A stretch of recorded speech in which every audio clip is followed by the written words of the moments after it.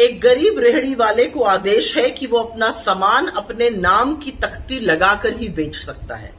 ऐसा इसलिए किया जा रहा है जिससे कावड़िया किसी मुसलमान फल वाले से फल खरीद के ना खा ले या किसी मुसलमान के ढाबे या होटल पर खाना ना खा ले। जब बैठे बिठाए कुछ ना हो करने को तो नफरत का छौका लगाना बीजेपी की आदत बन चुकी है।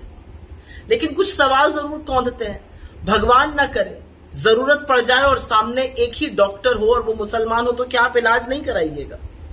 ज़रूरत पड़ जाए और खून से ही ज़िंदगी बच सकती हो और सामने वाला एकमात्र व्यक्ति मुसलमान हो तो क्या उसका खून नहीं लीजिएगा? अगर इन रेडियो पर बबलू, मुन्ना, गुड्डू लिखा रहेगा तो क्या कीजिएगा? उनसे सामान खरीदिएगा या नहीं खरीदिएगा? असलियत यह है और ये कितनी बड़ी विडंबना है कि ये उन कावड़ियों के साथ किया जा रहा है जो भगवान शिव पर अर्पित होने वाले जल को चढ़ाने और लेने जा रहे हैं। ये जो धर्म के नए नए स्वयंभू ठेकेदार बने हैं, ये ढोंगी, ये तो ना हमारे धर्म को समझते हैं, ना भगवान शिव की विराटता को। क्योंकि मेरे महादेव, मेरे भगवान शिव किसी भी गरीब की पेट पर लात पड़ने से बिल्कुल प्रसन्न नहीं होंगे। असलियत यह है कि ये वो डरपोक सरकारें और प्रशासन ऐसी कार्रवाई करते हैं जो अपनी विफलताओं को इनके पीछे छुपाना चाहते हैं।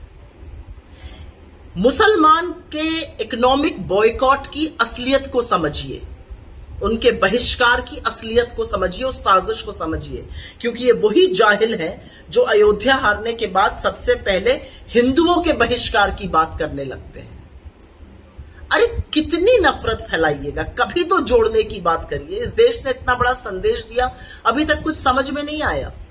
चलिए आएगा समझ में, क्योंकि मेरा देश मोहब्बत का देश है। मेरा देश जोड़ने वाला देश है। नफरत का बाज़ार मत लगाइए, क्योंकि सेब अब्दुल बेचे या अनिल बेचे, उससे फ़र्क नहीं पड़ता है। सेब मीठा होना चाहिए। और कितना भी नफरत का बाज़ार लगाइए, जीत तो मोहब्बत की ही होगी। हर हर महादेव।